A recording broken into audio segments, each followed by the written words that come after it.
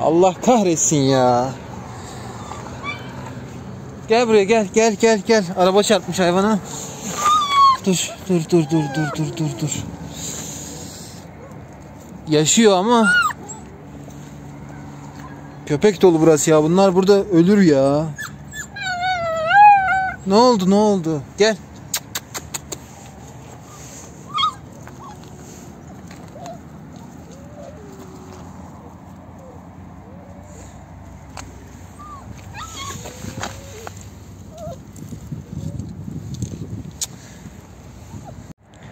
Arkadaşlar şu anda Tekir gişelerinin yanındayım. Burada bu yavrular var. Buraya yakın olanlar varsa eğer bir baksın buraya. Burası köpek dolu ama bu yavrular arabalar geçiyor buradan. Araba çarpmış zannedersem şuna da. Nefes alıyor ama şimdi bir şey yapmaya çalışacağım burada. Veteriner falan varsa. Of. Şimdi geçerken motorla gördüm.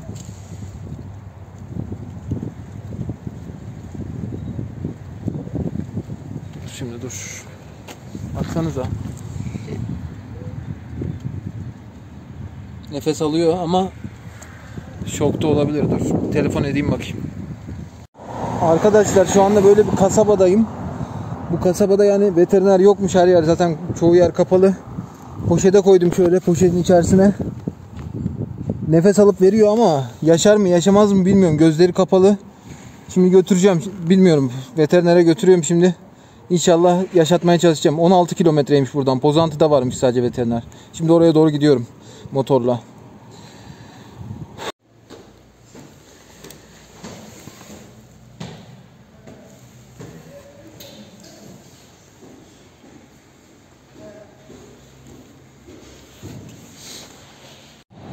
Arkadaşlar ben şimdi Pozantı'dan çıktım. Can'ın tedavisini yaptırdım. Can şu anda tam arkamda şurada.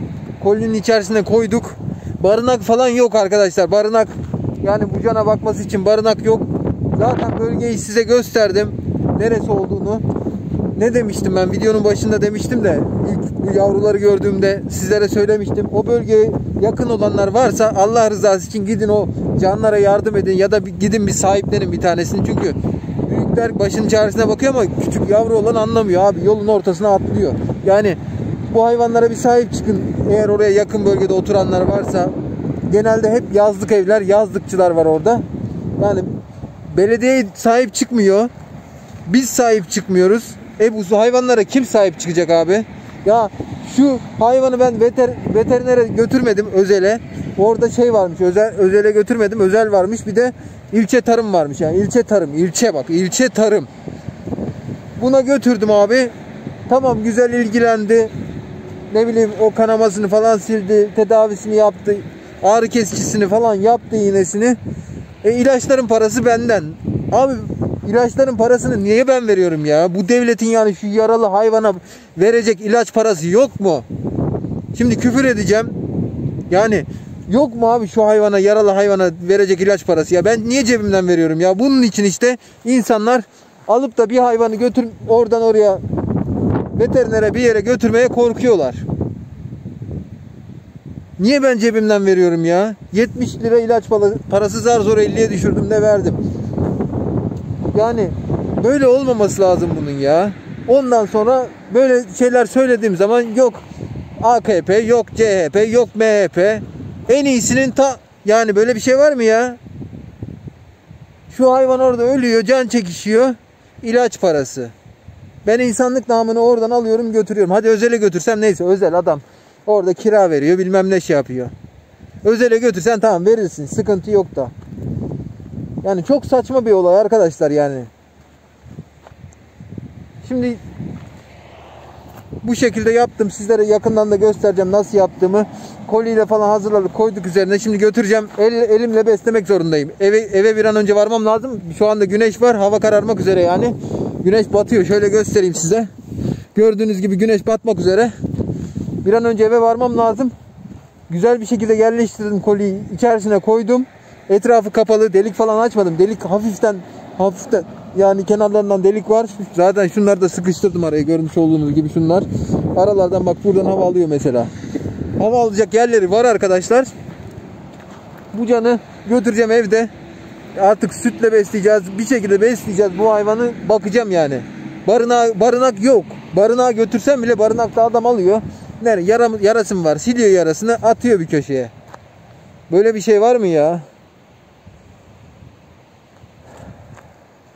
Sinirime hakim olamıyorum vallahi bak ya. Ben şimdi artık kap- videoyu kapatıyorum size sadece göstermek için şey yaptım.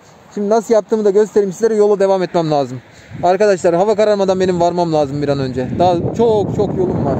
Bir bu cana da şırınga falan almamız lazım. Şırınga vardı gerçi orada. Büyük şırıngalardan almamız lazım yemek vermek için falan. E, süt almamız lazım. Onları da almak için şehir merkezi bir yere uğrarız giderken de dur. Şimdi size bir göstereyim nasıl olduğunu. Nasıl sabitlediğimi. Şu an canımız kutunun içerisinde arkadaşlar. Şöyle şuralara çentikleri açtım ki lastiklerin kaymasın diye. Ee, bunlar da eşyaları da bu şekilde tutturdum.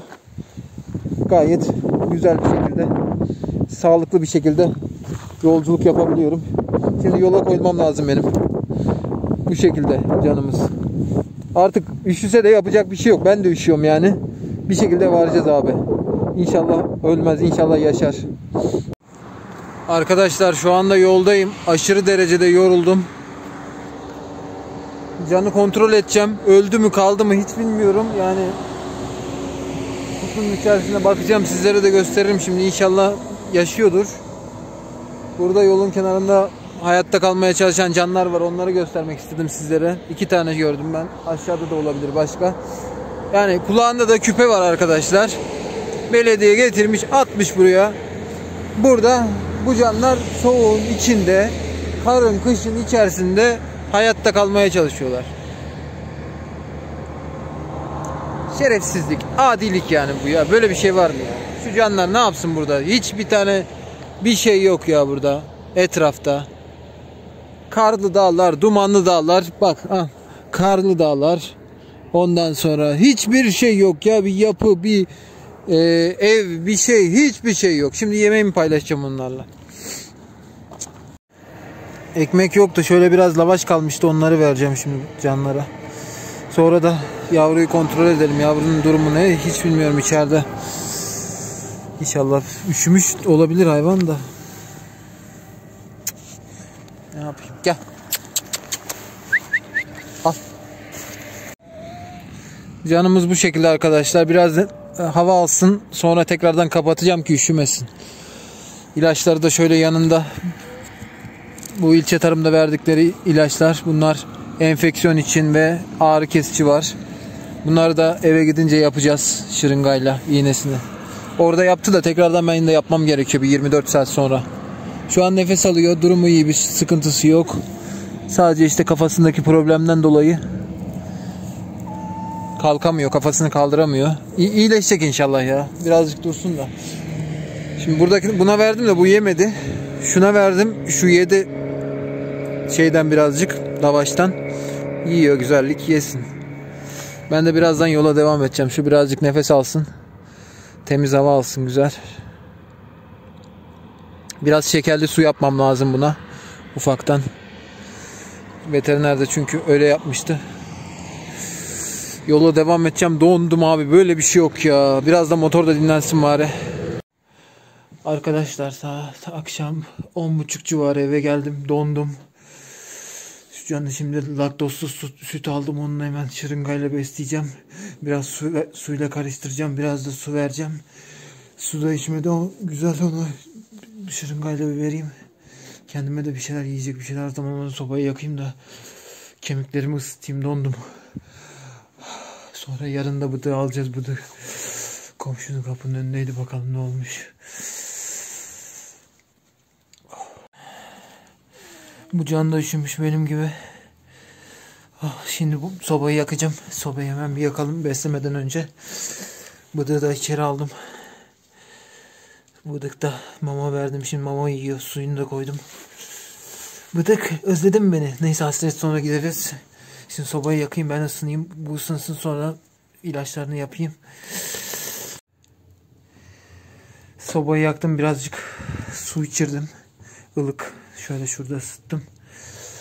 Şimdi süt kaynatacağım birazcık. Kaynatacağım derken yani ılık yapacağım. Hafiften ısıtacağım. Bıdığı içeri koymak zorunda kaldım çünkü üzerine falan çıkıyor kutunun. Ra- rahatsız etmesin hayvanı. Odaya koydum bıdığı da. Oh, sobamız yansın birazcık ısınsın hayvanın kemikleri. Benim de kemiklerim ısınsın dondum ya. Odun acıma yok. Yak abi yak. Biraz süt içirmeye çalıştım. Şimdi yatıyor orada.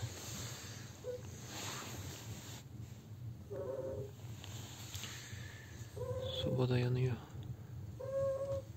İnliyor böyle sürekli. Yarası kanıyordu birazcık. Onu biraz baskı yaptım.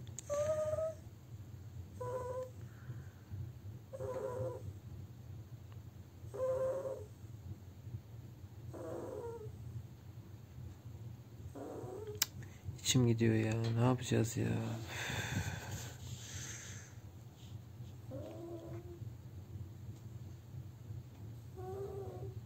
Ara ara benim sürekli sü- süt ve su içirmem lazım. Başka çaremiz yok.